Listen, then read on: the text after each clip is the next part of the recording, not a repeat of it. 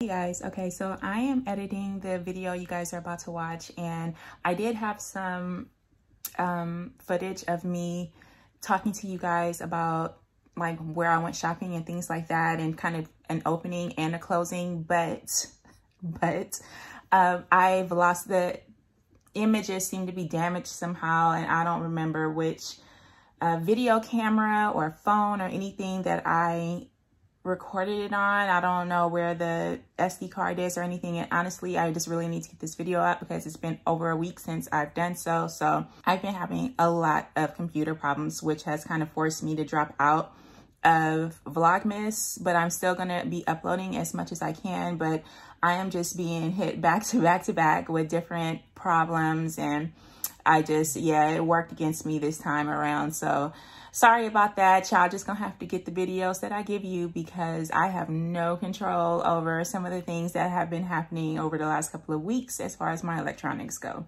I just wanted to give you guys a quick intro and an outro about this video. This is me. This is the first time I went shopping for my Med Diet stuff. And I just wanted to show you guys my grocery haul and let you know what I was eating and things like that. And then coming up next, I'm going to have a video showing you guys what I eat in a week. I was going to add it to this video, but the footage ended up being so long that I just wanted to kind of break it up so you guys wouldn't have to sit through videos that are 30 and 40 minutes. So, so we're just going to hop right into it. This is my Mediterranean diet shopping food haul. Okay, so this is um, the bucket. I have all of my food in that I just bought from the grocery store and this is not all of it but I just want to show you a little bit of what it is that I am going to be eating and prepping for the next week or really for the next couple of weeks. So I thought it would be better if we did this in kind of steps. So this is the flour that I am going to be working with while I am um, leaning into the Mediterranean diet. So here we have King Arthur whole white I'm sorry, white whole wheat flour. And then I'm also going to be using the King Arthur keto wheat flour. And these are going to be my two primary flours that I'm going to be using while on this diet. Um, I always make it a point to use some sort of keto flour. Like I really do like, um, what is it called? Carbquik. I use that a lot. Um, I should just go get that. Let me grab the Carbquik.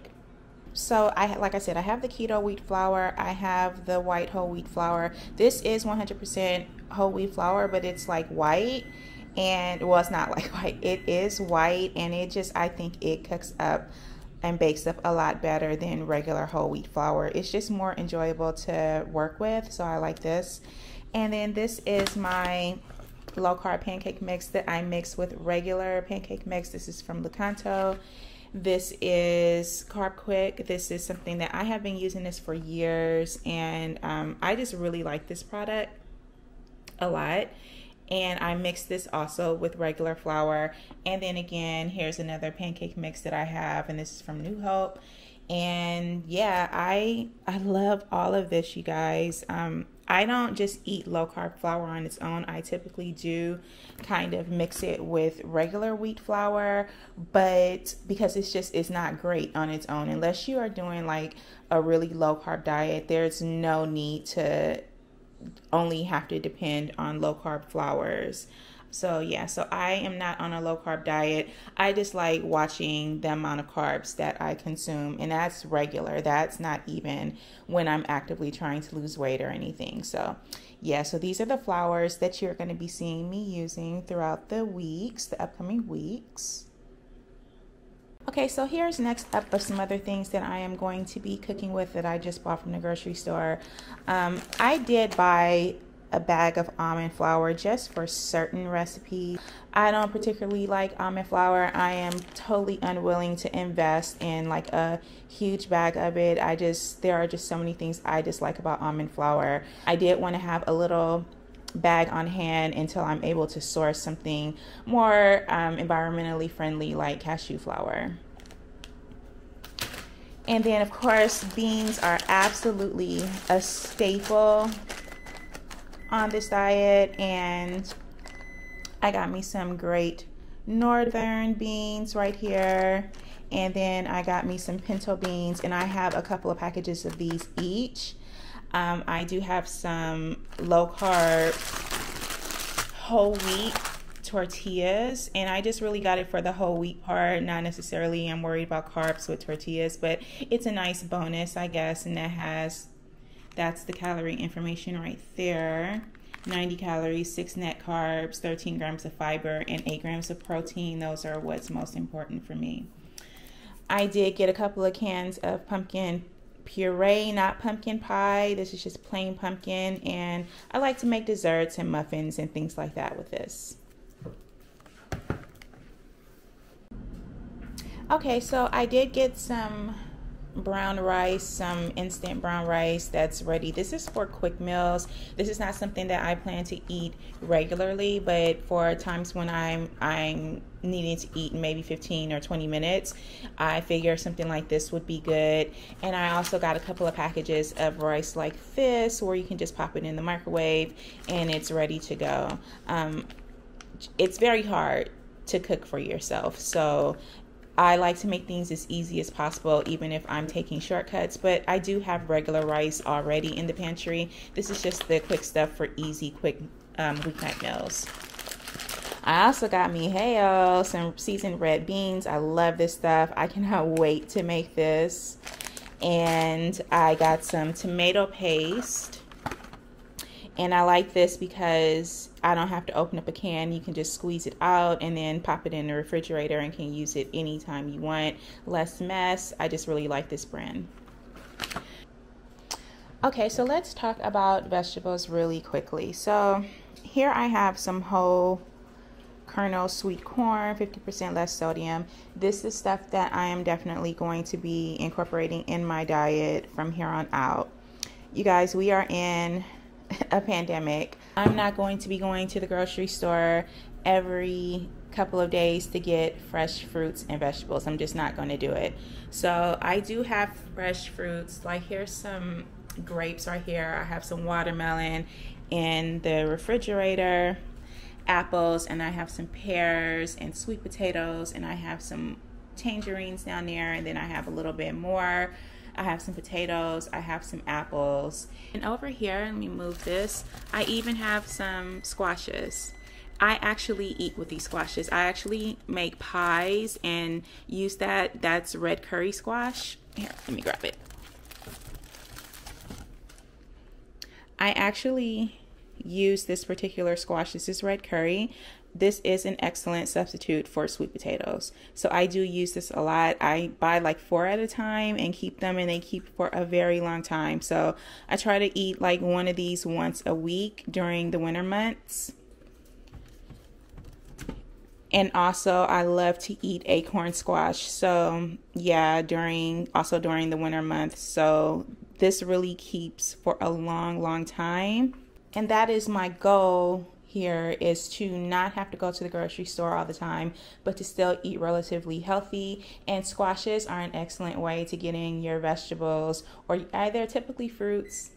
They're actually fruits, but we're just going to call them vegetables. It's a good way to get those in without having to rely on canned goods all of the time. So yeah, I have my vegetables. I do have like string beans and things like that. And then I have unlimited, like I have so many bags of broccoli in the freezer. Like let me show you. Okay, while I'm here, I'm just gonna show you my freezer. All of these bags right here, these are all bags of broccoli. I just have them stuffed in here because I I don't have any I don't this is a very small freezer. So, yeah, I have broccoli in here. I have veggie spirals as you can see. I got this from Trader Joe's. I even have like uh, frozen onions and peppers. And I just have all kinds of things in here. There's some more veggie um, spirals. I think that's butternut squash. I have cauliflower in here. Right there, that's my shrimp. So, and then that right there, that is ground turkey. So I do have a lot of vegetables that I am stashing in the refrigerator. So yeah, it's gonna be frozen or it's going to be canned. Really quickly, I also wanted to show you the kind of pasta that I'm going to be eating on here. Pasta is pasta, beans, rice. Those are things that you can all really kind of lean into on the Mediterranean diet. So I am going to be using um, lower carb, lower calorie pasta, I personally don't see a difference. So if I don't see a difference, then why not just use this kind of stuff? So yeah, I'm going to be using light pasta and this is um, a low carb pasta that I like. Now I can tell a difference between this and regular pasta not so much with this one. I can't tell the difference with this one i can. But it's acceptable to me to replace this with regular pasta. I know a lot of people might not like this very much and there is definitely a process to cooking this to make it taste really good but i like it. I don't i don't think that it tastes much much different than regular pasta once you have sauces and things on it. And this, I don't think this tastes different at all. This tastes just like regular pasta to me. Okay, so what else do I have in my little, so I have these really cute little apples. They're baby apples. They're called, you can see I've already started eating them. Um, Rockit apples or something. I don't know. And then I have my, here, so let me take this out. Okay, guys, so I love snacking. I think that the bulk of my diet comes from snacking, which is not the best thing, but I'm just going to roll with it. So I've decided that I'm going to be making um, a kind of nut mix with all of my favorite little snacky snack things. So here I have some cashews that I'm going to put in it, and then I have some pumpkin seeds here. And then I have some turkey beef jerky right here that I'm going to add to that as well. I'm going to be adding some of these pretzels. Now these are grain-free pretzels. I am not a huge fan of grain-free anything, but I think that these are really good. I bought these by mistake when I was making a Chex Mix, and they were so good. So I just got them again because I really, really liked them. I love mustard pretzels, and these are honey mustard. And then I'm just going to toss a couple of these in there as well. These are honey mustard and onion pretzel bites. I love these. I have, what is this? I have some figs that I'm going to chop up and throw in there as well. And then I also have some, this is going to be like the sweet part. This is milk chocolate cashews. So they're not the healthiest, but um, I do like a little bit of chocolate in my trail mix, so I'm going to toss a couple of those in there as well. And then I'm going to be adding a few dried cranberries. And as you can see, that is 50% less sugar. So a little bit more healthy than regular dried cranberries. And I use these on salads and things like that as well. I actually have a huge bag in my pantry already that I am almost finished with. So I bought these. And finally, I don't know why I got these. I have not had corn nuts in probably 20 years. Seriously, I have not had these since I was in school, in like probably elementary school. I don't know. But I just I just picked these up and I thought maybe I can just throw a couple of these in there for crunch. I will show you guys when I make these and the ratio and everything, but I don't know. I haven't had these used to be these used to be my favorite corn nuts, chili picante. So I just wanted to see how it work out. So I got these and I'm going to add a couple of these in with the nuts and things like that. I also have some smoked almonds. I didn't feel like going to drag them out and I'm going to add those to this as well. So this is going to make up the bulk of my little trail mix. Now let's get into what kind of meat I am going to be eating. And so um, oh, here's some olives. So I do have olives, a couple of cans of these that I'll put on salads and on top of pizzas and things like that. I have here some Rotel, and I will be using this for things like chilies and those, but like stews and soups and chilies and things like that. I bought some canned pink salmon here and I'm going to be using this. I will put this on top of salads. I will be making salmon croquettes. My mom's salmon croquettes are the best so I am going to be using this. Again, I only go to the store once a month, so I definitely need shelf stable things if I'm going to be eating right every single day. And I got a couple of cans of those, of the pink salmon. And then I also got a couple of cans, a couple of cans of chicken breast.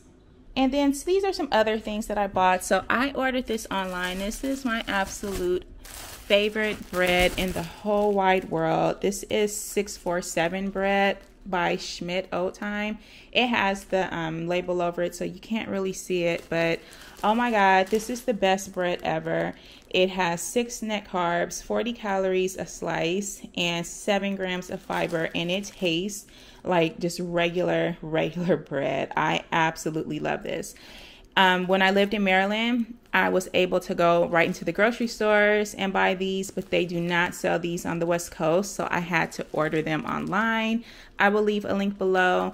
But if you are on any diet or you just want to eat healthier like me, this is absolutely the best, the best bread you are going to find, and it's totally worth the money. I also got their English muffins. I wasn't able to find their hamburger buns, but I did get their English muffins, which I also love. Cereal several times a week. So this is the kind of cereal I eat. I like Kay's protein cereal, French vanilla. This is really good. I eat these and I have been getting I've been getting a cereal subscription from this company for about a year. This is Magic Spoon cereal, uh, zero grams of sugar, three net carbs, and 11 grams of protein per servings. If you like cereal that you used to eat when you were a kid, this is what you need. This stuff right here, this flavor is fruity and it tastes exactly like Froot Loops. No lie, I am not kidding you guys. The texture is a little, little off, but not enough for me to. I've been eating this for a year and I do eat regular cereal still. So I can tell you that this does not taste like a low carb cereal. It does not taste like a diet cereal. It tastes like regular cereal. I love this stuff. I have it in salted caramel.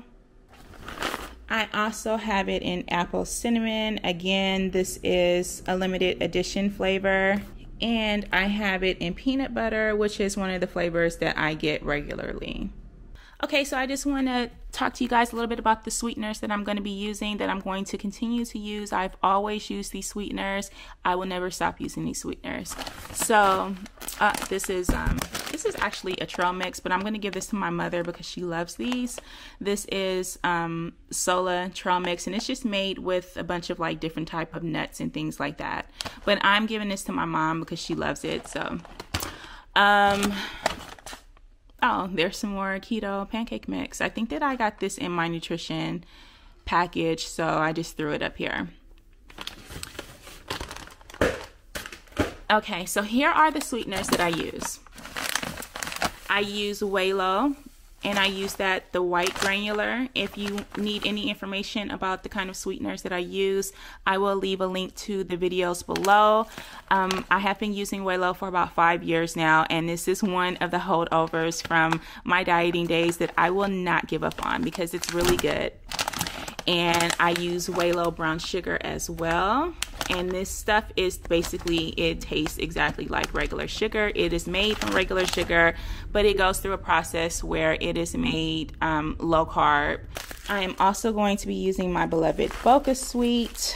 This is probably my favorite sweetener period but it's just a little expensive. So um, i do cut it with WALO but this is what i use and this is zero zero all the way i also have powdered BochaSweet.